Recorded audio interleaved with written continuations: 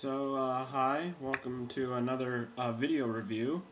Sorry I haven't done uh, any reviews or, or posted anything in the last um, couple weeks, but, you know, spring break and being busy prevented me. But I'm back with another video review. Uh, I wasn't thinking about doing another video review, and then I actually got two, uh, two people I don't know commented on my last one and said I should do more, so I'm doing more. Um, today I'm doing, it's going to be a kind of different review. I'm doing Jimi Hendrix Blues. Um, as you can probably tell from the size here, it is uh, vinyl. It's a vinyl record, and I'm going to be doing today more of a kind of an unpackaging, um, just talking about what's in the set as opposed to the music. However, I will say about the music, um, Jimi Hendrix Blues it not uh, an album that was released. Uh, it was released after he died,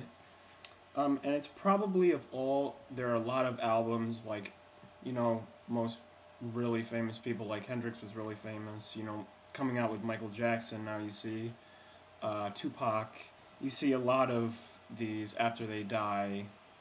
Um, they get kind of sets, and they're kind of you know, some are better because, you know, some people were close to finishing an album or something like that. Uh, Jimi was in the process of finishing an album, but he wasn't done. But there are a ton, I mean, a ton of um, albums released after he died. Some are pretty good, some are bad. You know, there's a controversy with, you know, the producers went through and they had tracks where it was just Jimi you know, playing guitar, you know, laying something down to work on in the future. And they went in and they said, well, let's add a drum part to this. But they didn't have any documentation of what kind of drum part he wanted. So, you know, people got upset about that. Um, but there are some, you know, good things, some songs that were almost done. Probably one of the strongest is uh, Jimi Hendrix Blues. Um, just because you have a lot of, you know, songs that you know, first of all, he was finished with, and you know, all they have some really good finds actually.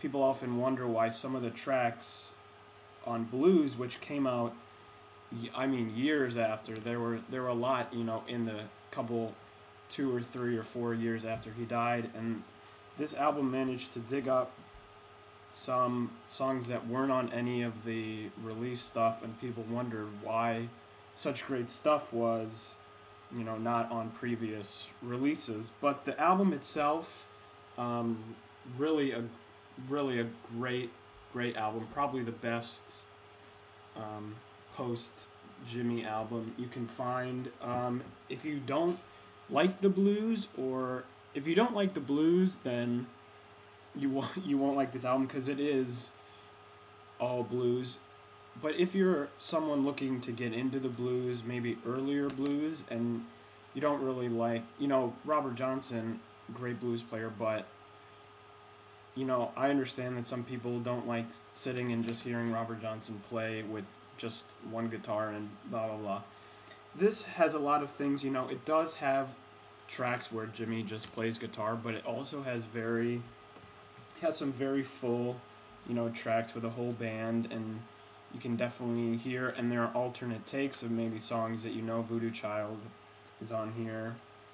Um, but I would, so I would recommend the album. Really, if you don't like blues, of course, don't get the album. But if you're into blues, if you like Jimi Hendrix and you maybe want to hear something more than just his studio releases, uh, I would recommend this. But this actually, this version I got is um, a new version that was released in the past I think last year they re-released all the studio albums. They re-released uh, Woodstock and uh, the BBC sessions, things like that. So this is an official Hendrix um, family release. Um, really great, sturdy, um, sturdy quality. Um, it is a double CD, so you have this here, and you've got some great. This is the one picture here, and here's the. Uh, other one. So really two great pictures, still all very sturdy. Um, one of the things I like about it is here, I'll take out one of these. Um, the records actually come in kind of this plastic, um, I don't even know what you call it, a plastic case, I guess. But you know, most vinyl albums, you know, if you buy them from their original release, they have kind of a paper uh, paper case like this, and sometimes they have you know information from the publishing company about you know check out these other albums or things like that. And the problem with paper albums, especially you know I buy a lot of my vinyls used, is that the paper covers are often they're ripped, and you know they don't really protect the the record that well. This is very good sturdy quality, so that's great. Um, the one problem I do have is putting this back in here is often tricky. Actually, the first time I tried to do it, I the top is here, so you take it out right there. But you have to put it in this way. You can't put it in like this way or any other way, or else it won't fit in. But even when you put it in this way, there's often pretty much the plastic is just the size of the opening, so you have to really see I'm and it can get it sometimes can get kind of jammed up and you have to pull it in and out and in and out a couple of times, but I guess for the quality of the protection you're getting, it's pretty good. Also with this, um, one of the big things it comes with it comes with this um, booklet. It doesn't have a title on the front or whatever, so if you found it, you know, somewhere else you wouldn't know what it was. Um, some great, you know, pictures. Um, some just information about a story from uh, one of his old girlfriends about how much he liked the blues, and he'd go over to her house and play all the records and things like that. And another, I don't know if you saw that, another big, another nice big picture. I mean, all these pictures are really great quality, but probably, and then here's another kind of uh, I don't know who actually wrote this. It doesn't really say, but just another thing about you know Jimi Hendrix, great guitar player, very rooted in the blues. Another you know picture here, um, but probably my favorite part is you know here back in the information, all the tracks on this um, record they've actually talked they have little you know sections like hear my train hear my train to come in and then it says it just has a little you know recorded in december 1967 um, what it was inspired by because a lot of these songs um, actually most of these songs are covers of things so it's good it's good that you can you know go through and you can say oh okay so you know once I had a woman and it talks about guitar slim or something like that. So you don't really have to do so you can go, oh, if anyone asks, you know, where did the song come from or whatever, that's there. And then of course they have the you know, who's playing on each um here. Is that it? Yeah. Here it's good, you know, with a with an with a record like this, an album like this, it's good with a lot of you know various songs that are from different points you know 1969 1967 1968 things like that. It's good to be able to go through and say okay when did he record this? Who did he record it with? You know he played with a lot of different he had his band but he played with a lot of different people so it's good for that. But probably my favorite part um, i'll show the front of the album again. Here's the front of the album you know jimi part of it is Jimi's face. If you actually turn around, you get the whole.